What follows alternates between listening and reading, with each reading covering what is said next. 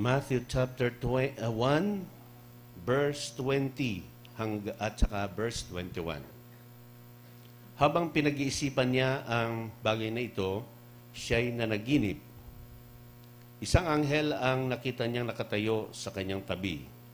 Joseng anak ni David, wika ng anghel, huwag kang mangambang pakasalan si Maria sapagkat ang sanggol na dinadala niya ay ipinaglihin niya sa kapangyarihan ng Espiritu Santo.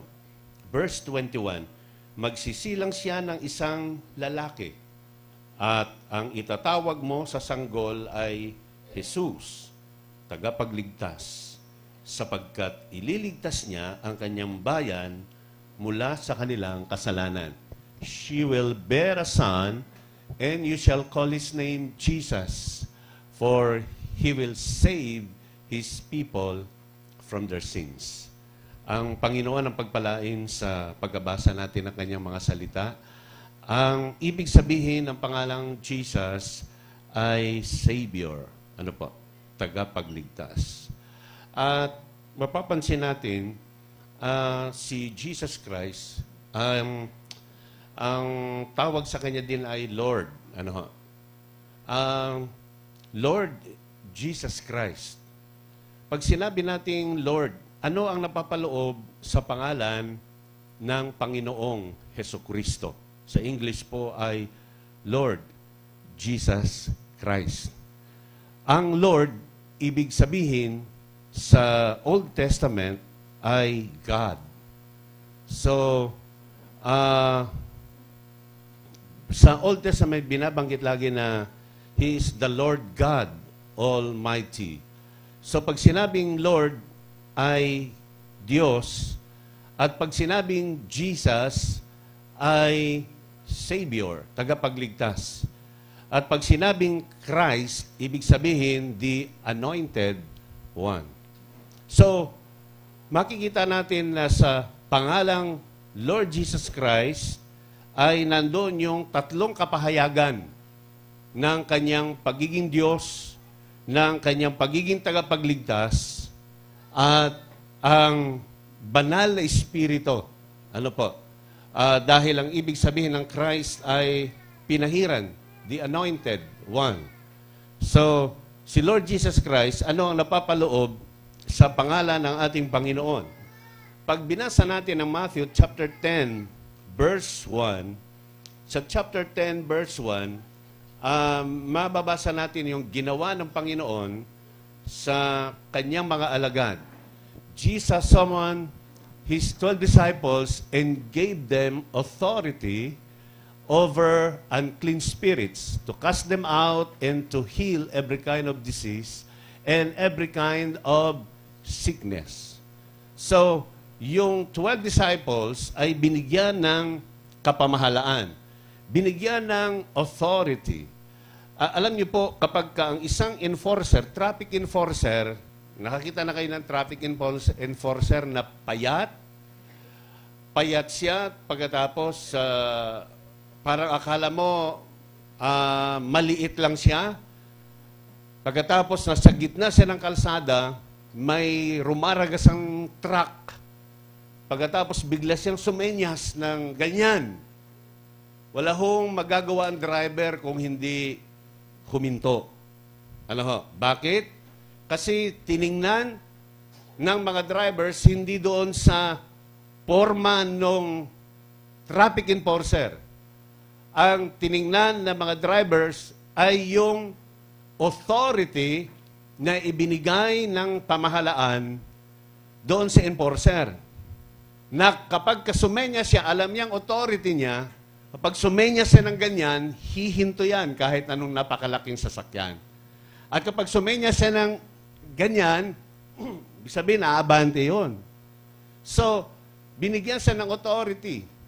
At ang mga Kristiyano, sa pangalan ni Jesus Christ, ay binigyan ng authority laban sa mga sakit at karamdaman sa maruming espiritu to cast them out para palayasin and to heal every kind of disease and every kind of sickness. Yon ang authority na ibinigay sa atin ng Panginoon. Kanino pangalan po? Sa pangalan ng ating Panginoong Heso Kristo. At purihin ang Diyos sapagkat uh, andyan po yung anak po nila, Brother Steve, at uh, ni Mami Melds.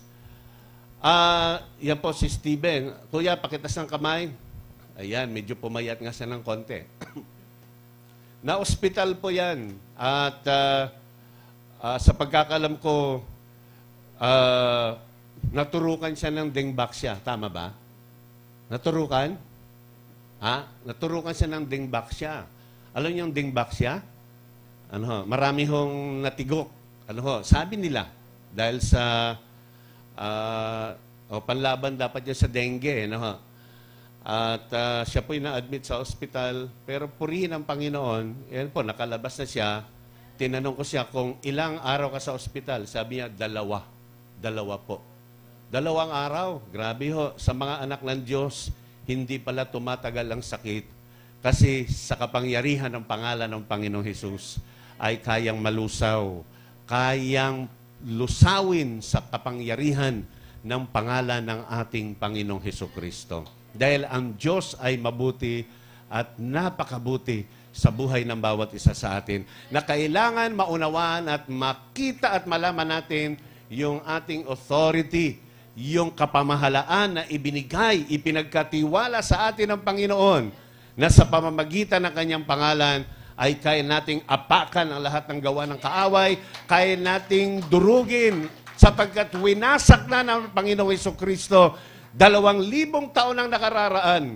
Mahigit pa, nung si Jesus Christ ay mamatay sa krus ng Kalbaryo, hindi lamang siya nanatiling sa krus, hindi siya nanatiling patay, pagkalipas ng tatlong araw ay muling nabuhay mula sa mga patay ang, panga, ang ating Panginoong Heso Kristo. At yung kapamahalaan, yung kapangyarihan na yan ay hindi niya dinala sa langit, ibinigay niya sa bawat isa sa atin sabi niya, binibigay ko sa inyo ang mga kapamahalaan. Sabi niya kay Pedro sa mga alagad, binibigay ko sa inyo ang mga susi ng kaharian. Mga kapatid, hindi po susi lang. Ibinibigay ko sa inyo ang the keys of the kingdom, ang mga susi ng kaharian. Ang interpretasyon ng iba, si Pedro yung may hawak ng susi ng langit. Kaya sabi nila, kailangan malalangin ka kay Pedro na papasukin ka sa langit kasi siya yung may hawak ng susi. Hindi po yon literal na susi na siya ang may hawak ng susi ng pintuan ng langit. Ibig sabihin ng mga susing ibinigay ay kapamahalaan, kapangyarihan ang ibinigay sa bawat isa sa atin. Mga kapatid, kung ikaw ay may hawak ng susi ng iyong bahay, kailangan mo ba bang kumatok o hindi? Ha? Bakit? May susi eh. May susi. Nasa atin ang susi ng kaharian. Hindi mo na kailangang kumatok sa trono ng Diyos. Bubuksan lang natin, aangkinin pa natin, aangkinin lang natin sa pangalan ng Panginoon Yesus sapagkat ikaw at ako ay ibinigay na sa atin ang kapamahalaan at kapangyarihan. Kaya kapag tayo ay nanalangin sa Panginoon, di natin sinasabi, Panginoon, maawa po kayo. Please, please, please. Hindi po. Meron bang anak na kapag humingi sa magulang ay sinasabing, Tay, bigyan mo akong pera. Please, please, please. Maawa po kayo, please. Meron bang anak na pagdating ng bahay ay nagsasabi sa magulang, Tay, Nay, pwede bang buksan ng rep? Pwede ho bang kumuha dito? Wala, pag anak, pag diretso, bukas agad yan. Kung anong nandun, kanya yon. Bakit anak? Pero pag bisita ka lang, mahihiya ka magbukas, di po ba? Mahihiya ka eh. Kasi bisita ka lang eh. Sabi mo sa katabi mo, kapatid, hindi ka bisita sa langit. Anak ka ng Diyos. At nasa iyo ang mga susi sa pangalan ng Panginoong Jesus. Sabi muli sa katabi mo, kaya hindi ka pala kawawa. Anak ka ng Diyos. May karapatan, may kapamahalaan, may kapangyarihan. Saan? Sa pangalan ng Panginoong Jesus.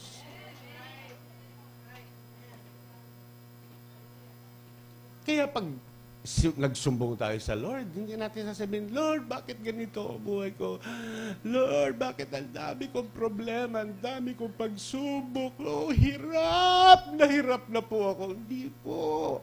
Opo, may kahirapan, may pagsubok, subalit, ang lahat ng yan sa bawat labanan, alam natin na tayo'y nasa panig ng tagumpay sapagkat si Kristo ay nagtagumpay na mahigit dalawang libong taon ang nakararaan. Kaya nga po, pagdating lang linggo ay Sunday celebration, pagdiriwang.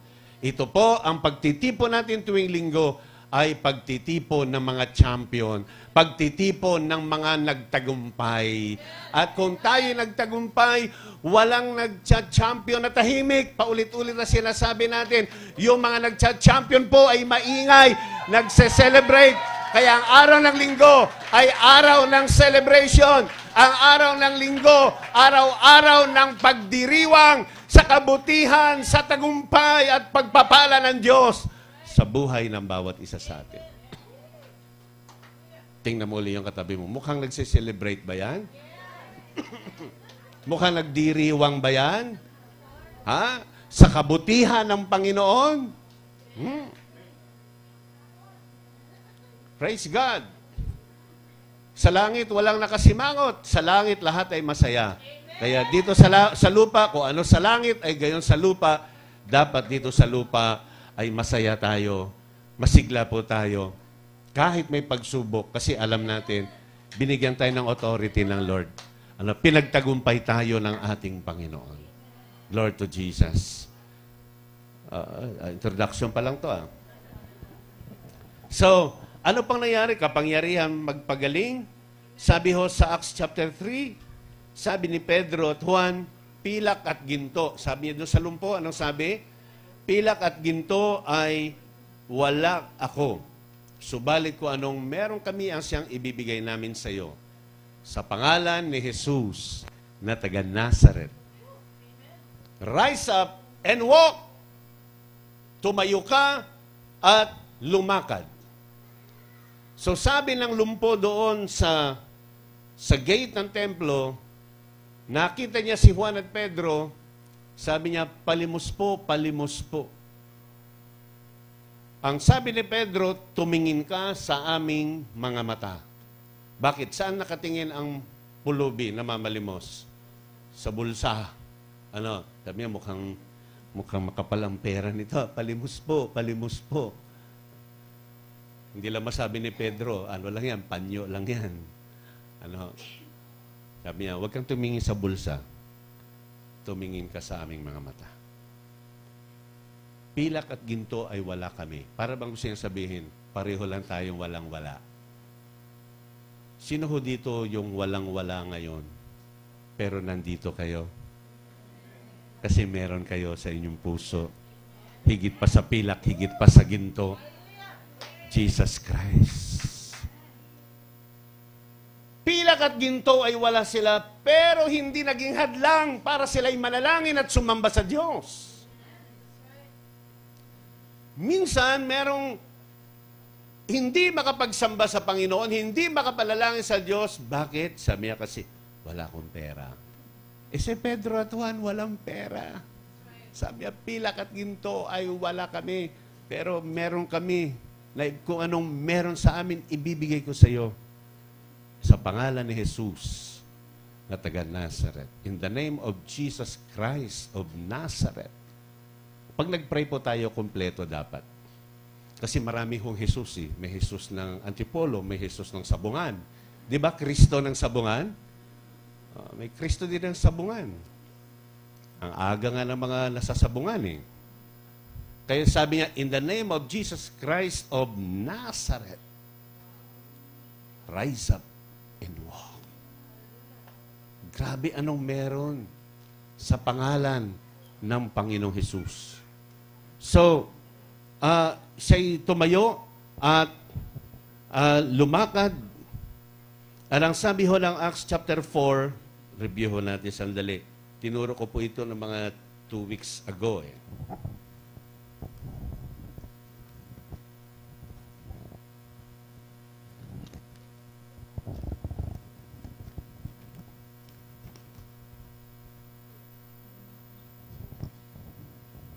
Sa verse 7, chapter 4 verse 7, iniharap sa kanila ang dalawang alagad. Sa kanilang kapangyarihan o pangalan ninyo ginawa yon o sisa nila. Sumagot si Pedro sa verse 8, napuspos ng Espiritu Santo, mga iginagalang na pinuno at mga magulang. 9. Kung kami nasasakdal ngayon dahil sa kabutihang ginawa namin sa isang may sakit at dahil ibig ninyong malaman kung paano siyang gumaling. Verse 10, Ibig naming ipaalam sa inyo at sa buong Israel na siya'y pinagaling sa pangalan at kapangyarihan ni Heso Kristong taga Nazaret na inyong ipinako sa krus, subalit ibinangon ng Diyos mula sa mga patay. Oh, grabe. So, nung gumaling yung lumpong yon 40 years na lumpo, pinagaling. Sabi ni Pedro, inaakala niyo ba na siya'y gumaling dahil sa amin? Hindi po. Siya'y pinagaling sa pangalan ni Kristong taga Nazaret na inyong ipinako, pinatay at ipinako sa krus at inilibing. Sabi nila, teka, si Jesus Christ, pinatay na, inilibing yon, patay na siya. Sabi ni Pedro, sandali lang po, hindi pa ako tapos siya'y namatay at inilibing. Pagkalipas ng tatlong araw, siya'y muling nabuhay mula sa mga patay. At ang may sakit na ito, lumpo ng isinilang, ay isa sa mga saksi na ang Panginoong Hesus ay buhay. Ang lumpong ito ay pinagaling sapagkat si Jesus ay buhay. Siya'y pinagaling hindi dahil sa amin, o hindi sa pangalan ng Panginoong Heso Kristo. So, sa pangalan ng Panginoong Heso Kristo. So, sa ating panalangin, dapat maintindihan ng lahat kung gaano kahalaga ang pangalan ng ating Panginoon. Alam niyo po, ang pangalan po ay napakahalaga. Naniniwala ba kayo na ang pangalan po ay mahalaga? Hmm? Halimbawa, ang sis ang pangalan mo ay mahaba at ang pangalan mo, no? Ah, ano nga ba ang pangalan mo? Hershey Kim. Ah, ma maiksi lang pala. Alam ni Brother Makoy, tatay ito eh. Bakit nga ba Brad Hershey Kim? Hindi dahil sa tsokolate, di ba? Hindi, ano? dahil sa pagkababae. Kasi her, babae. Yung she, babae. Hershey Kim. Bakit Kim? Ha? Um, Miss Saigon Kim. Yung ba ang title ni Leia Salonga? Ay, ang pangalan niya doon, si Kim. Kaya pala kahawig mo si Leia Salonga. O, tanya, may sabihin niya, mahalaga ang pangalan, her, she, Kim. Her na, she pa. Kaya kita mo, babaeng babae. Ano? Para bang kanta ng Beatles, ano? I, me, mine, I, me, mine, I, me, mine. I na, me pa, mine pa. Yun naman ay punong-puno ng pride. Sa, sarili, di ba? Self-centered, self-centered ng self-centeredness ang tinuturo noon. So, I, me, mine.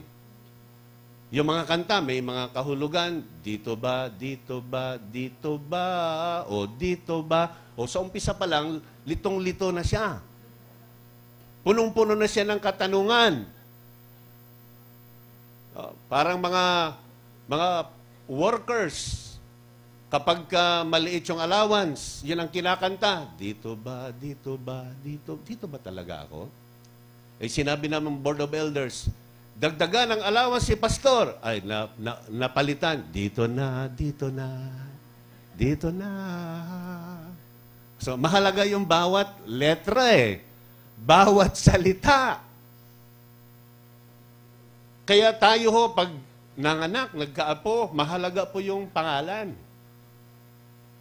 Yung iba naman, yung kanilang idol sa basketball, dinudugtong. Oh, Joe Jawo.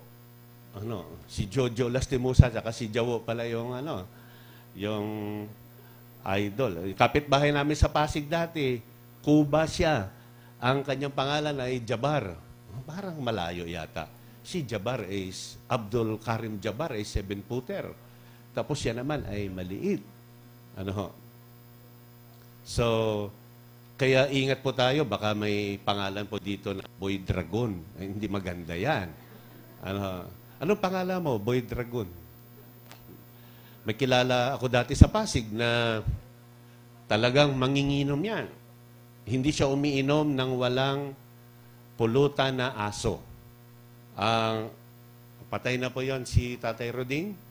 Naging driver po ng mayor dati ng Pasig noong panahon ni Caroncho.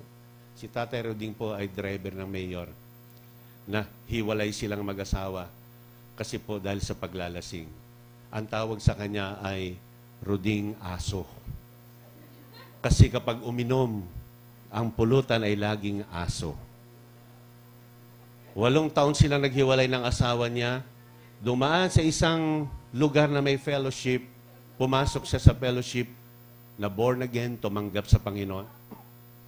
Nagbago si Tatay Roding, aso. Niligawan niya uli ang misis niya. Nakita na misis niya, nagbago siya. Nagkabalikan sila. At makikita mo si Tatay Roding, siya yung namamalengke, siya na ngayon ang nagluluto, siya na yung mga nagsusulsi ng mga butas na damit, kaya ang pangalan niya ay naging Roding Tuta. Napalitan. Binago na ng Panginoon eh. Grabe ano, dating Roding Aso, naging Roding Tuta nung maging Kristiyano. So mahalaga po yon tingnan mo yung mga lalaking katabi mo, sabi mo, sana maging tuta ka na. Hindi na yung asong pinupulutan. Ano, pastor naman, pinaparinggan ako. Gumising na ako ng maaga eh, para umaten. Tapos medyo pinaparinggan ako. Wala, wala po tayong pinaparinggan. Meron lang tayong pinapatamaan. Okay, so, ang pangalan ay mahalaga. Nung matalo pong Israel sa gera, 1 Samuel chapter 4 verse 2, ang isang tao doon pinangalan ng Ikabod. Nang ibig sabihin ay the glory departed. The glory of the Lord departed. So Ikabod, ibig sabihin umalis ang glory ng Lord. Kaya minsan pag may nagsabi, ah, grabe yung church na yan, Ikabod.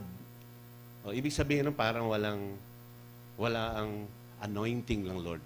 Wala yung presence ng Lord. Kaya kung meron kayong anak, huwag niyong pangalan ng Ikabod. Anong pangalan yan? Ikabod? Ay, wag. Kasi ibig sabihin na wala yung kaluwalhatian ng Diyos. Eh, sorry, baka may ikabod po rito. Pa papalitan niyo na ho yan sa NSO. So, noong 1972, kumalat po ang pangalan sa Pilipinas ng Marcelo. Sino ho rito pinanganak ng 1970s ang pangalan niyo ay Marcelo. Baka kayo po ay inabot kasi ng Marcialo.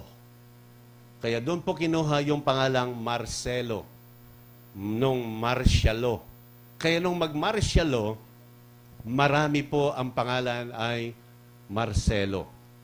Nung ako po ay maging Christian, yung kuya ko po ay walang anak na lalaki. Ay, na babae. Ah, lima, kung di ako nagkakamali, lima puro lalaki. Kaya yung pangatlo, ah, sa amin sa Bisaya kasi pagbabae, inday. So yung, alam ko, yung pangatlo niyang anak ng kuya ko ay pinalayawan ng inday. Pero ano po yon? Lalaki po yon. Si inday, kasi walang anak na babae. Yung pang-anim, babae.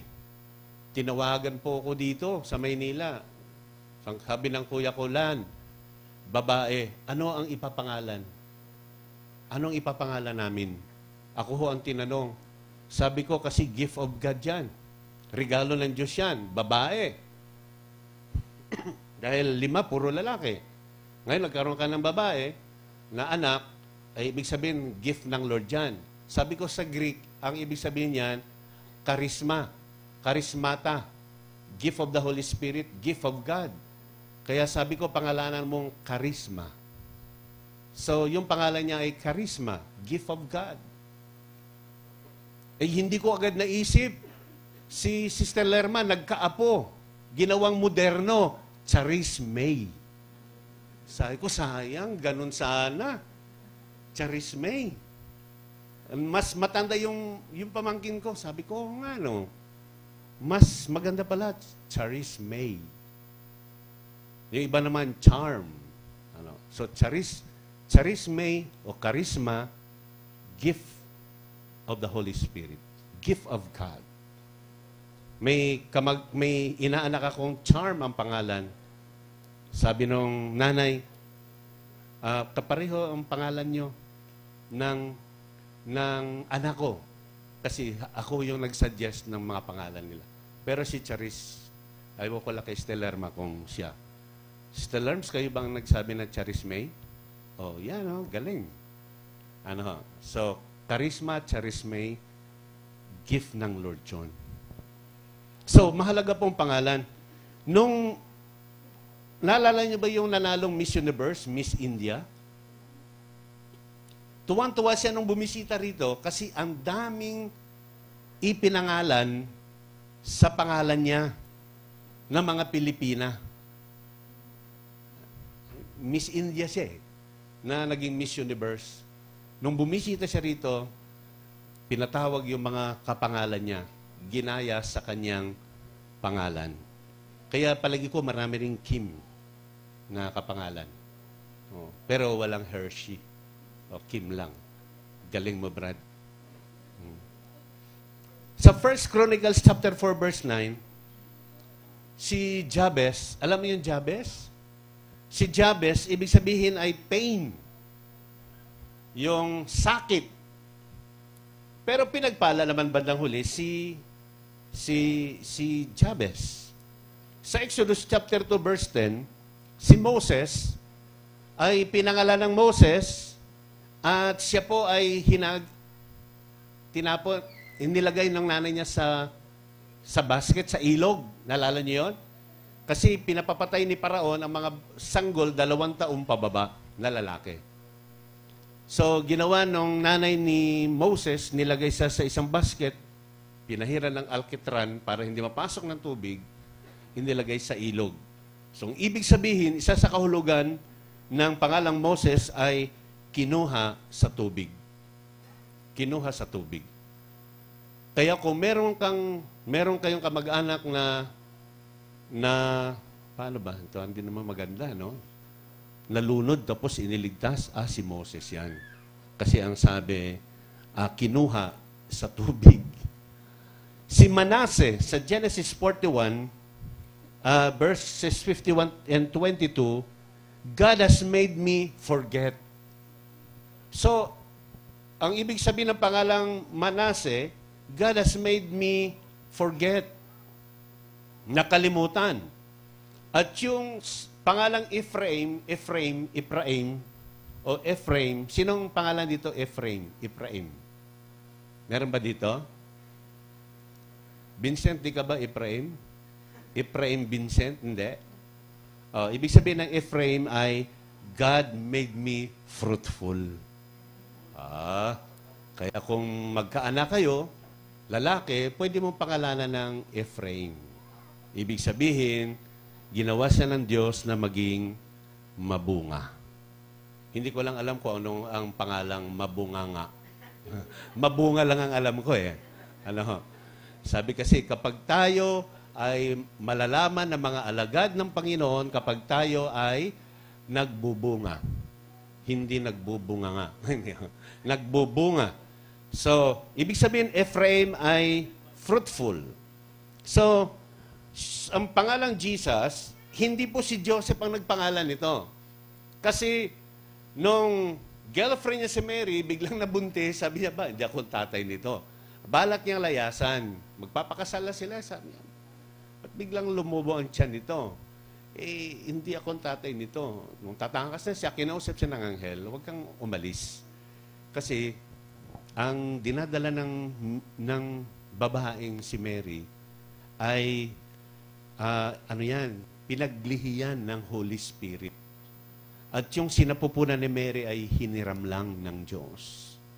Dahil sa pamamagitan ng Birhen na si Maria, ay isisilang ang tagapagligtas at tatawagin ang kanyang pangalang Jesus sapagkat ililigtas niya ang kanyang bayan sa kanilang kasalanan.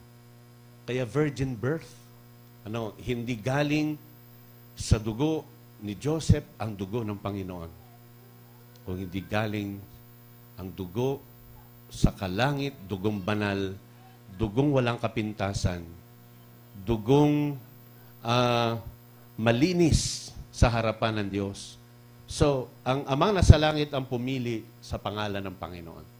At ang sabi ng John 16, wala siyang ibang pangangaralan, pararangalan kung hindi ang ating amang nasa langit. So, ang pangalang Jesus, it was approved and honor by the Father. Kaya po, may ama kasi nagkatawang tao po ang ating Panginoong Heso Kristo.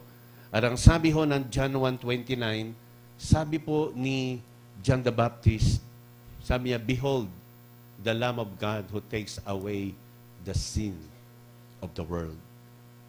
Narito ang kordero ng Diyos na nag-aalis ng kasalanan ng sanlibutan. Ayan po. The Lamb of God who takes away the sin. Papansin po natin, hindi sins, hindi maraming kasalanan, kundi sin of the world. Kasalanan po na ginawa ni Adan ng ating unang ninuno, yung original sin, yung kasalanan yan, ay pinawi ng Panginoon. Inalis ng Diyos, binura ng Diyos ang kasalanan ng buong mundo. Kasama po tayo sa hinugasan at nilinis ng nino po ng kordero ng Diyos. Sino po yung kordero ng Diyos? Ang ating Panginoong Heso Kristo. So siya po ang naglilinis at naglinis ng ating kasalanan. Sabi ng Hebrews 9.22, kung walang pagdanak ng banal na dugo, ay walang paglilinis, walang kapatawaran sa ating mga kasalanan. So ang ating pakikibahagi ng Holy Communion, ang ang alak o ang grapes, hindi ho mahalaga kung alak o grapes or red wine. Ang mahalaga po, yung alam natin yung significance, alam natin yung kahulugan, alam natin ang kahulug, kahalagahan.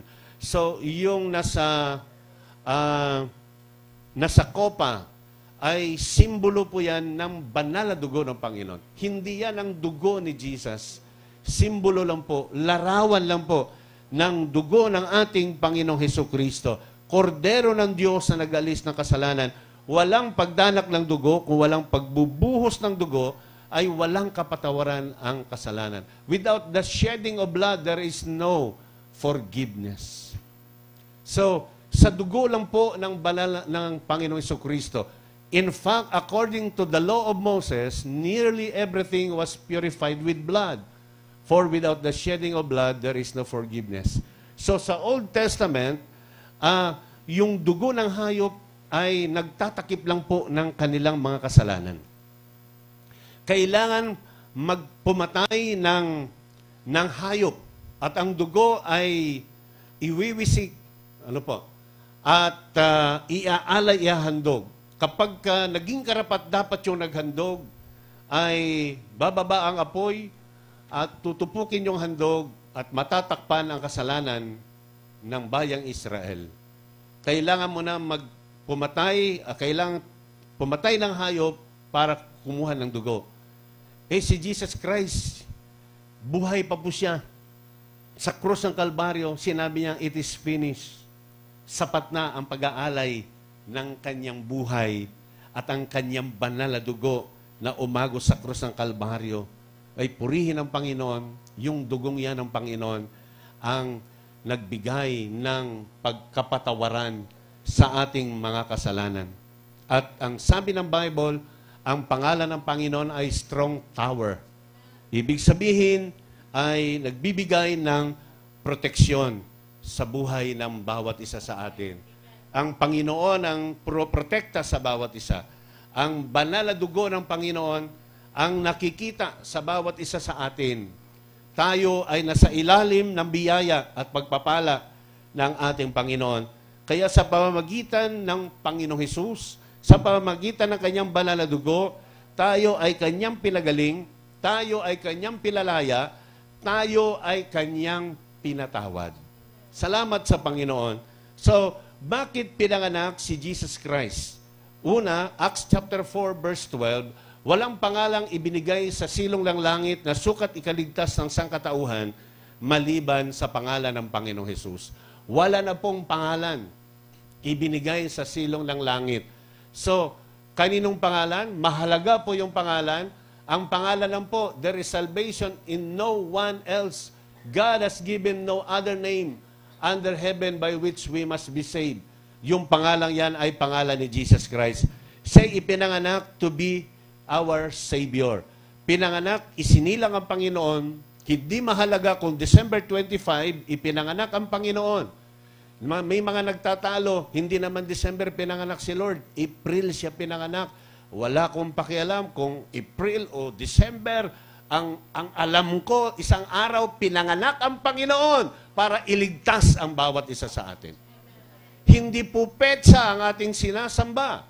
Di ba sa TV, sa telebisyon, sinasabi, uh, uh, 90 days na lang, Pasko na. Ngayon, ilang araw na lang sa Patalastas? Ha? 23 days na lang, Pasko na. O, ang inaabangan ho ng tao, yung petsa. Sa petsa ho sila nakatingin.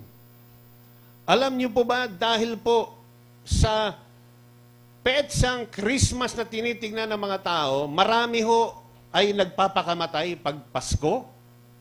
Marami ho ay nade-depress. Marami po ang nalulungkot. Bakit? Sasabi ni ba, masama ang loob. Sabi, bakit kaya? Malapit ng 25, hindi pa nagpapadala ang anak ko. Nasa ibang bansa. May mga ganun po. Iba ho sumasama ang loob. Bakit ganun? Wala pa kaming wala pa kaming keso de bola, wala pa kaming hamon na pagulong-gulungin. Wala pa kaming bagong damit, bagong sapatos. Bakit po? Kasi yung petsang inaabangan. Bakit kaya ados na, wala pang nagre-regalo sa akin? Malungkot ang aking Pasko, wala akong girlfriend, wala akong boyfriend. Kasi yun ang pananaw ng iba pagdating ng Pasko. Yung iba ho, ano, yung, yung, ano tawag doon, yung hindi na gumagalaw. Nagkakaroon ng kalyo, hindi, hindi na nagagalaw yung daliri kasi, eh, yan, gusto ko, yan, Pasko, gusto ko yan, gusto ko yan. Ayan, gusto ko yan, gusto ko yan. Anong tawag doon? Yung, na pinulikat na, na manhid na. Kasi yan, Pasko, Pasko yan, gusto ko yan. Ang babaw ho ng paningin sa Pasko. Sa iba po, ang Pasko ay bagong damit, ang Pasko ay regalo, ang Pasko ay maraming pagkain. Okay po yun, marami tayong pagkain, marami ho regalo, maraming bago, pero hindi po yan ang diwa ng Pasko. Sabi ho ng mga anghel, sabi ho ng anghel sa mga shepherd, sa mga pastol, nag-aalaga ng tupa, huwag kayong matakot, magala kayo, sapagkat sa araw nito ay may dala kaming mabuting balita na magdadala ng kagalakan sa buong mundo. Sapagkat sa araw na ito ay isinilang mula sa lahi ni David ang tagapagligtas, ang Panginoong Heso Kristo. Yan ang kagalakan. Yan ang mabuting balita. Hindi man December 25, hindi mahalaga kung kailan siya pinanganak. Ang mahalaga pinanganak at ang ating ipinagdiriwang, hindi yung mga bagay sa mundo. Ang ipinagdiriwang natin ay ang Panginoong Iso Kristo. Tayo'y kanyang ililigtas. Mahigit dalawang libong taon na nakakaraan iniligtas niya tayo. Siya ang tunay na diwa ng Pasko. Siya ang dahilan bakit may Christmas. Siya ang dahilan bakit tayo nagse-celebrate, mga kapatid, sapagkat ating kinikilala. Isang araw, dumating ang tagapagligtas na nagsabing siya ang daan, siya ang buhay, siya ang katotohanan, walang makaparoroon sa Ama kung hindi sa pamamagitan niya. Ipinanganak siya to be our Savior. Number two, to be our Redeemer, to be your Redeemer. Ephesians chapter 1 verse 7, tagapagligtas at siya ay manunubos, tagatubos. Ephesians chapter 1 verse 7. Tayo po ay tinubos. In Him we have redemption through His blood. Dugo lang po ng Panginoon. Kaya sasabihin ng ibang mga katuruan, pag hindi ka naging miyembro ng church nila, hindi ka maliligtas. Hindi po yan, no? In Him we have redemption through His blood.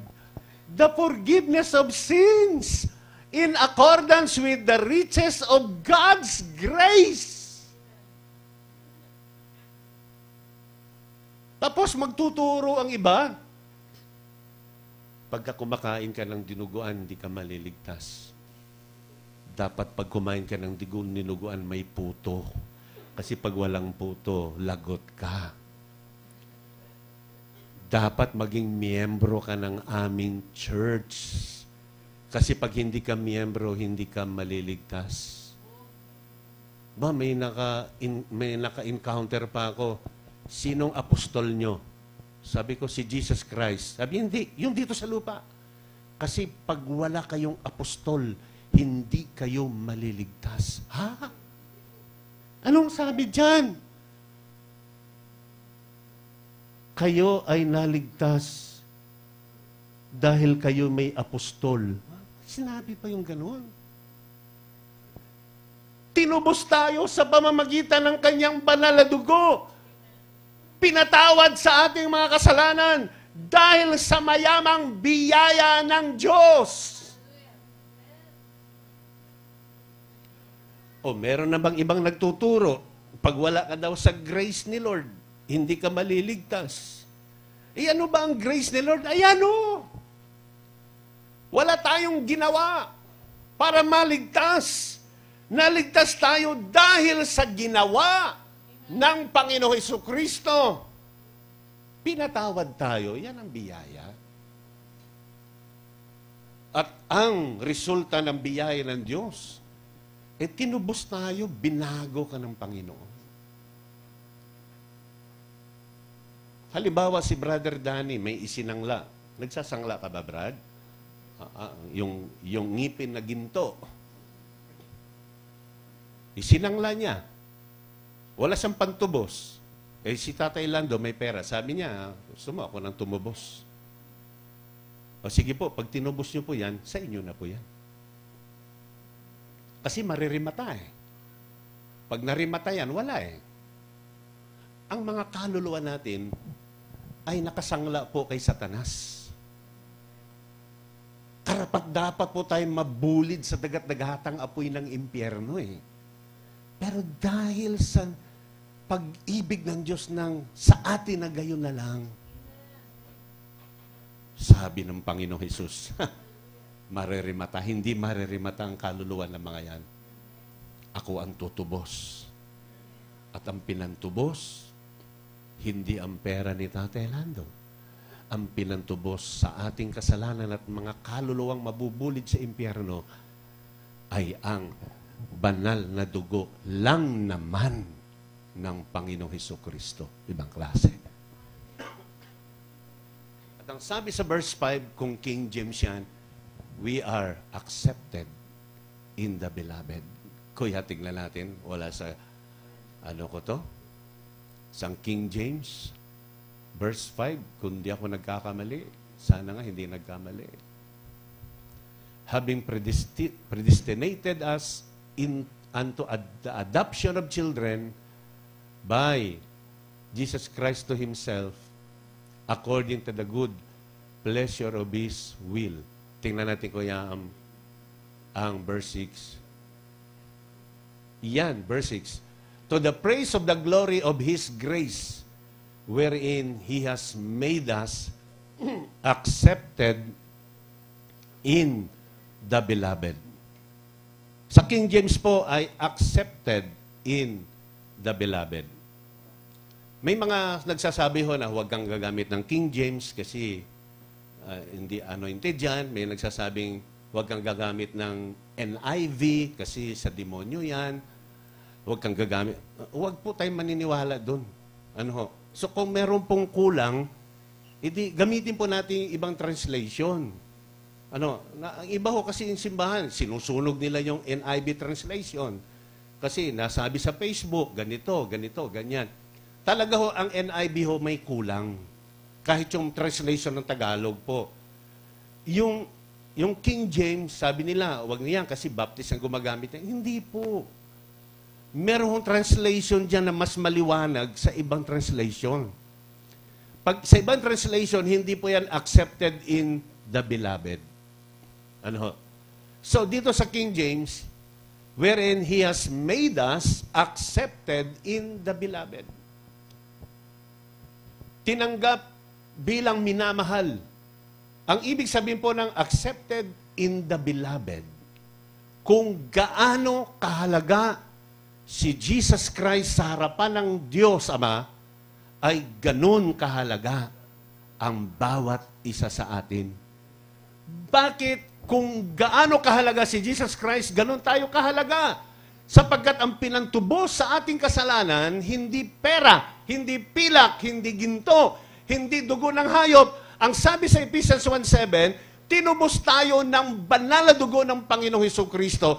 Ibig sabihin, kung gaano kahalaga si Jesus Christ, ganon kahalaga tayo sa harapan ng Diyos, accepted in the beloved. At ang katumbas ng buhay mo at buhay ko, hindi katumbas ng kayamanan ng mundo, kapantay at katumbas ng Panginoong Heso Kristo, sapagkat yun ang pinantubos, yun ang pinambayad sa katubusan ng ating mga kasalanan. Nakuha niyo po ang ibig sabihin? So, ang halaga mo ay hindi 10 milyon. Ang halaga natin ay hindi yung kayamanan ng buong mundo. Ang halaga mo at halaga ko ay kasing halaga ng buhay ng Panginoong Heso Kristo. We are accepted in the beloved. Hindi ka man tanggap ng maraming tao. Hindi ka man tanggap ng iyong mga mahal sa buhay dahil sa ating mga pagkukulang, sa ating mga pagkakamali, tanggihan man tayo ng lahat ng tao. Praise God! Hindi tayo tinatanggihan ng Panginoon. We are accepted in the beloved sapagkat ikaw at ako ay mahalaga sa kanyang harapan. Ikaw at ako ay mahalaga sa kanyang harapan. Kaya tayo'y tinubos sa halaga. Ang pinantubos niya ay banal na dugo ng ating Panginoong Heso Kristo. Glory to Jesus. Amen po. At ang pangalan ng Panginoon, bakit sa pinanganak? Para maging mediator, maging tagapamagitan. Tagapamagitan sa Diyos at tao. Inisip ko po sa pagbasok ng 2019, uh, magtuturo po tayo ng mga doctrinal, yung pagiging tao ni Jesus, yung pagiging Diyos ng Panginoong Jesus at ang pagiging Diyos sa tatlong kapahayagan, iisang Diyos ang pinaniwalaan natin sa iba't ibang kapahayagan. Dahil napakahalaga po ito. Dahil merong, may, merong iba, may, nasabi lang po sa kanila, si Kristo tao lang, hindi Diyos. Ah, ganun ba? Sige, salin ako sa inyo. Kaya kailangan po maging malalim po tayo sa salita po ng ating Panginoon. At si Jesus Christ, pag tiningnan natin ang Hebrews 1 verse 3, matatapos na po tayo. Hebrews chapter 1 verse 3, to who being the brightness of His glory and the express image of His person sa sa King James yan, ano? Sa NASB naman, the exact representation and the express ang galing ah, ni Kuya, bilis ah. He is the radiance of His glory and the exact representation of His nature. When He had made purification of sins, He sat down at the right hand of the majesty on high. Sabi ho, and the exact representation of His nature. Si Jesus Christ, yung exact representation ng kalikasan ng Diyos. At siya'y nakaupo sa kanang trono sa kalangitan. Pag sinabi pong nakaupo, sat down, he sat down at the right hand of the majesty on high. Sabi na iba, o di, dalawa ang Diyos. Yung ama, tapos yung nakaupo sa kanan, anak. E dalawa, nakakalito kayo. Sabi niya, dalawa ang Diyos nyo, tatlo. Ang ibig sabihin po ng right hand, kanang kamay, sa kanan ng trono, hindi po literal na nakaupo sa kanang kamay. Pag sinabing nakaupo, sat down at the right hand, ibig sabihin, yung kanang kamay ay nasa kanya ang lahat ng kapangyarihan at kapamahalaan. Ano ho? Yung pong ibig sabihin niya. Hindi po nangangahulugan na yan siya ay nakaupo sa bandang kanan. Kung hindi, yon ay nagpapahayag ng kapamahalaan at kapangyarihan sa pangalan ng Panginoon. At siya yung exact representation. At ano po ang nangyari sa Philippians 2, verses 9 to 11? Dahil ang Jesus Christ na ito, siya po ay nagpakababa. Sabi ho ng Philippians chapter 2, verse 9, nung inialay niya ang kanyang buhay, Therefore, God exalted him to the highest place and gave him the name that is above every name. Ang pangalan ni Jesus ay mas mataas sa lahat ng pangalan. Verse 10, That at the name of Jesus, every knee should bow in heaven and on earth and under the earth. 11, and every tongue confess that Jesus Christ is Lord to the glory of God, the Father. Kailan po itinaas ang pangalan ng Panginoon? The name that is above every name? Kailan po itinaas? Nung siya po ay magpakababa. Siya ay nagpakababa hanggang sa kamatayan sa krus ng Kalbaryo. Siya ay nagpakababa, naging alipin at naging masunurin hanggang kamatayan. So, gaano kataas ang pangalan niya? Sabi lahat ng tuhod ay luluhod. Ano man ang problema natin, pagsubok sa buhay natin, ano ang pangalan?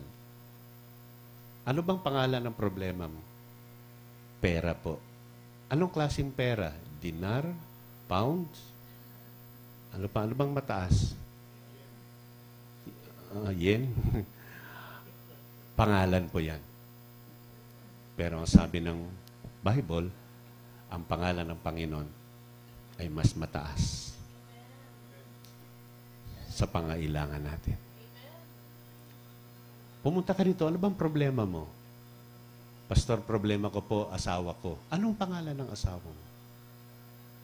Ang pangalan niya ay mas mataas ang pangalan ng Panginoong Yesus.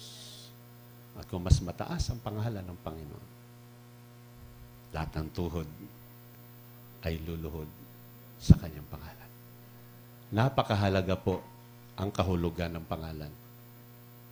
Dahil sa pangalan, si Hilpuyat, kilala si Hilpuyat, nangailangan ng driver. May nag-apply, hindi ho tinanggap. Sabi, anong pangalan mo? Si Johnny po. Anong pilido mo? Antok. Sabi niya, puyat na nga ako. Ikaw naman, antok. Eh, baka mabangga kapag nagmaneho ka. Dahil doon sa pangalan ni Johnny Antok, hindi sa tinanggap ni Hilpuyat. Sabi, hindi pwede. Iba na lang. Dahil po sa pangalan. si Johnny Gising. Ano? So, ang pangalan po ay nagre-reflect po yan sa buhay ng isang tao. At ang pangalang Jesus, hallelujah, tagapagligtas. Meron kang pupunduhan cheque bukas, siya ang iyong tagapagligtas. Ano? Meron kang kailangan-kailangan, mapuputulan ka na ng kuryente, ng tubig, pinapalis ka na sa iyong inuupahan, three years ka nang hindi nakakabayad sa apartment, tagal lang. Si Jesus ang ating tagapagligtas. Ano man ang kinakaharap nating mga problema, ang pangalan niya ay mataas sa lahat ng pangalan. Lahat ng tuhod ay luluhod sa Kanya. At sa Kanyang pangalan, tayo po ay may tagumpay. Tagumpay po tayo sa pangalan ng ating Panginoon. At kailan po nangyari? Nung siya ay nagpakababa. At ang ating pakikibahagi ng komunyon ay pagpapakababa ng Panginoon, Diyos na nagkatawan tao, upang tayong mga anak, mga tao, ay magiging anak ng Diyos. Siya na walang kasalanan ay naging kasalanan upang tayo mga makasalanan ay magkaroon ng kabanalan sa harapan ng ating Panginoon. Dakila po ang pangalan ng Panginoon Jesus. Amen po. Palakpakan pa natin siya. Thank you, Lord.